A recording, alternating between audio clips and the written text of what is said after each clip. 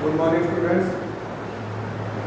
Today we start Unit 3 series, the story of democracy. The story of democracy, chapter number 26 of your book. Now, first we start what is democracy. It is defined as the rule of the people. Democracy is simply defined as rule of the people. The people are given the choice of how they want to be governed. The people thus have a say in functioning of the government. The Abraham Lincoln, the American president, described democracy, a government of people, for the people, by the people. The two guiding principles of यानी कि Abraham Lincoln ने जो definition दी थी उसमें ये कहा गया था कि लोगों लोकतंत्र व सरकार है यानी कि लोगों के लोगों की सरकार है लोगों के द्वारा और लोगों के लिए बनाई गई है यानी कि government of the people by the people for the people it's the definition of the democracy described by the Abraham Lincoln. The two guiding principles of democracy are equality and freedom. यानी कि समानता और स्वतंत्रता ये democracy के दो guiding principles हैं सिद्धांत हैं These principles have been laid down in the Constitution of as fundamental rights of the citizen. अब ये जो प्रिंसिपल हैं, इन्हें फंडामेंटल हमारे कॉन्स्टिट्यूशन में फंडामेंटल राइट्स के रूप में लिया गया अब है history of the democracy history of democracy यानी कि डेमोक्रेसी का क्या इतिहास रहा? अब आपने देखा होगा the form of democracy that exists in the present day has undergone various stages to reach its present stage we will read out the various stages of the development. The birth of democracy in Greece. The earliest form of democracy existed in ancient Greece in the 5th and the 6th centuries BCE. अब जो सबसे पहले जो democracy का स्वरूप था वो जो एग्जिस्ट यानी कि जो हमने एंशियंट ग्रीस में फिफ्थ और सिक्स सेंचुरी में जो अस्तित्व में था एग्जिस्टेड था तो उस द वर्ड आपने देखा होगा जो वर्ड डेमोक्रेसी है। वो कहाँ से लिया गया है? ग्रीक वर्ड से लिया गया था डेमोक्रेटिया कौन सा शब्द है? डेमोक्रेटिया यानी कि डेमोक्रेटिया डेमो का मतलब है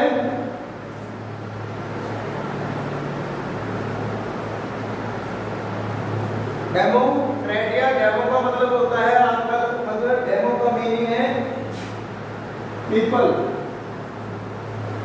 आइडिया का मीनिंग है power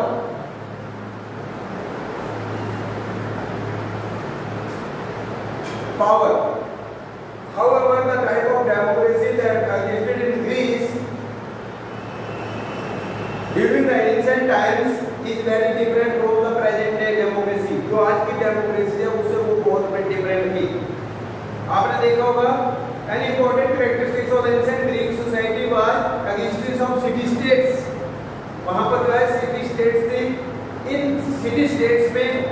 all citizen except slave यानी कि स्लेव को छोड़ करके, गुलामों को छोड़ करके women and foreigners participated in the decision making the issue in the state यानी कि जो राज्य में कोई भी इशू होता था, जिसके ऊपर कोई फैसला लिया जाना होता था तो गुलामों को, यानी कि स्लेव्स को छोड़ करके except slaves women and foreigners यानी कि स्लेव वुमेन और फॉरनर्स को छोड़ करके यानी कि जो विदेशी लोग थे वुमेन थी और फॉरनर्स इनको छोड़ करके भागीदारी लेते थे कौन जो बचे हुए लोग ठीक है they met at the one place अब वहाँ पर ऐसा नहीं था पहले क्या होता था आपने देखा होगा कि हम जब इसे बोलते हैं डायरेक्ट डेमोक्रेसी अब जो हमारे यहाँ है, वो डेमोक्रेसी क्या है? इनडायरेक्ट डेमोक्रेसी है।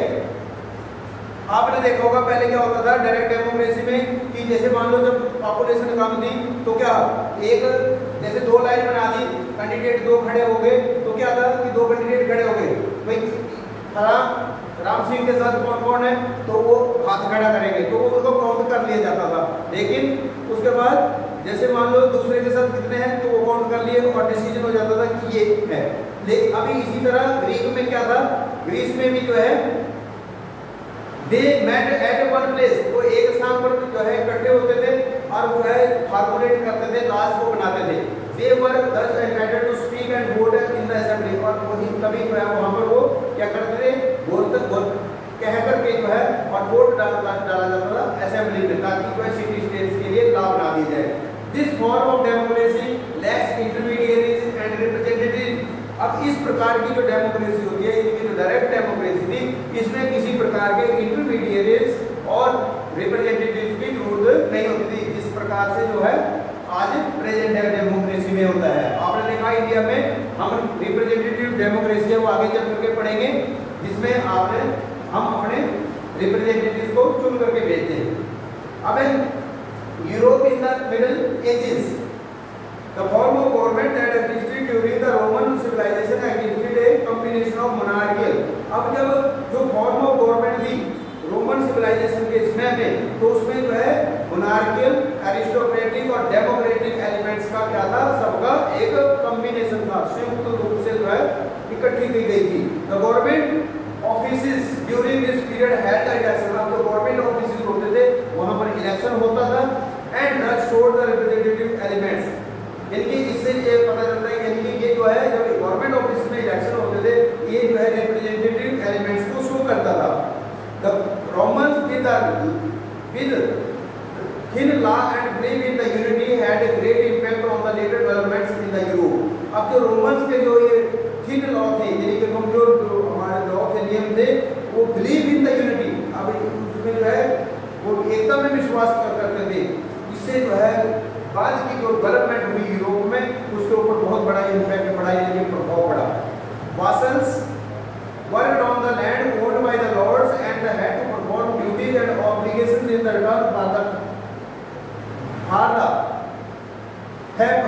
piece of land आपने देखा है जो वासल्स यानी जो वासल्स थे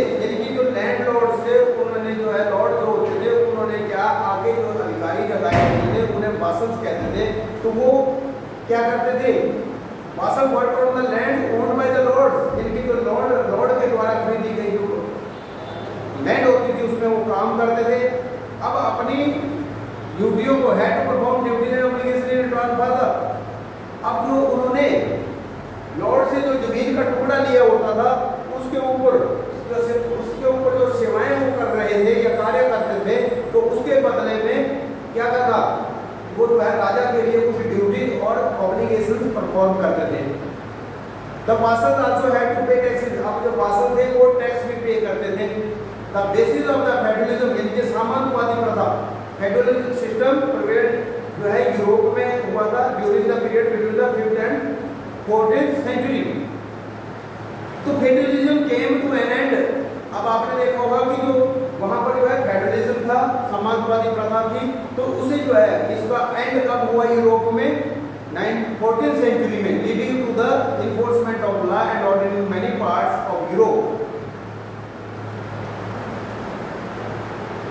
soon the idea of nationalism अब जल्दी ही वहाँ पर जो है नेशनलिज्म का आइडिया आया, विचार आया and representative democracy emerged as an outcome of the decline of federalism जैसे ही फ्यूडलिज्म खत्म हुआ पतन हुआ फ्यूडलिज्म का डिक्लाइन हुई तो उसके बाद जो है रिप्रेजेंटेटिव डेमोक्रेसी वहाँ पर मर्ज हो गई ना नेक्स्ट द रेनेसेंस रेनेसेंस का मतलब होता है पुनरुत्थान या rebirth the 14th and the 15th centuries common era CE witnessed a renaissance in Europe अभी जो है 14th और 15th सेंचुरी में, जैसे क्या हुआ यूरोप में? रियल सेंस हुई यानी कि रीबर्थ हुई। The moment which literally translate to rebirth aim to be bring about the spirit of classical Greece and Rome it produced excellent masterpiece in the literature painting sculpture and art this was made possible by cultural awareness and learning encouragement during the period अब इस period के बीच में जो cultural awareness आई और learning को बढ़ावा दिया गया, उससे वहाँ पर जो है लिटरेचर पेंटिंग स्कल्पचर और आर्ट में बहुत बड़ा उपलब्धि हासिल की यानी कि एक्सीलेंट रिज़ल्ट रहा the emergence of the Italian city states like Venice Florence and Lucca led to far reaching the political developments We can see a republican form of government in these provinces where merchants and trading classes organize themselves into guilds.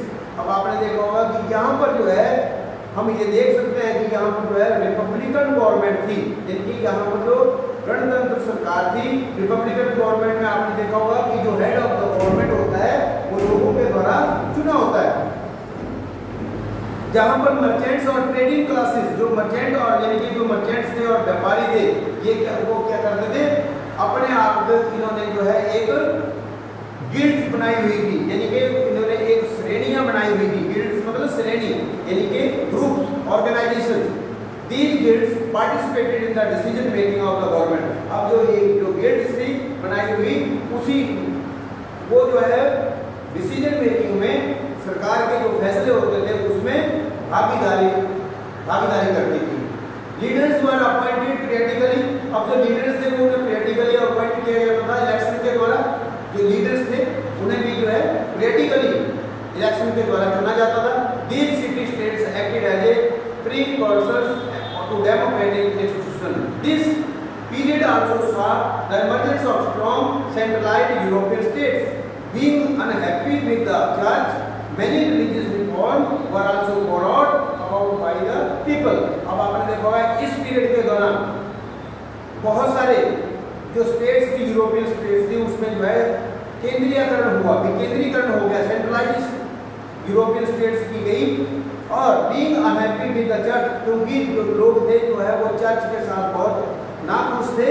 और many religious reform और बहुत सारे जो है धार्मिक सुधार किए गए। Also brought about by the people के लोगों के द्वारा वहाँ पर बहुत सारे जो है सुधार किए गए। इसमें धार्मिक धार्मिक रिफॉर्म्स किए गए, इनके धार्मिक सुधार किए गए। पीस एंड स्टेबिलिटी शांति और स्थिरता। जो है इंश्योर की गई democracy to flourish peace and stability ensure democracy to flourish वहाँ पर जो है पीस और स्टेबिलिटी जो है इंश्योर की गई डेमोक्रेसी के द्वारा ताकि जो है वहाँ पर डेमोक्रेसी जो, लोग हैं वो फ्लोरिस हो सके। यानी कि